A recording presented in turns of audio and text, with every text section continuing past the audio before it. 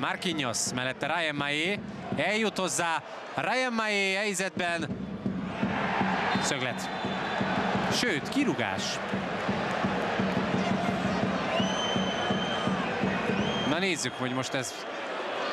Nem, büntetőt fújt Csonka. Itt jön Kádár, át is elviszi a bokáját Ryan Maének, ez nem kérdés innentől kezdve. Így teljesen egyértelmű, elsőre nem látszott, ott elviszi a bal bokáját, lábfejét Ryan Maének elüti Kádár.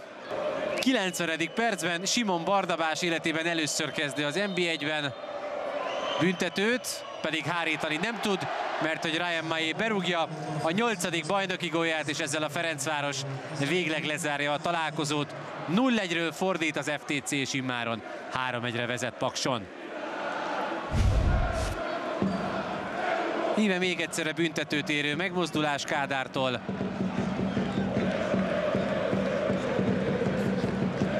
És aztán pedig Ryan Maé nagyon higgadt. Az utolsó pillanatig kivár, Simon elmegy az egyik irányba, ő meg visszarúgja a másikba.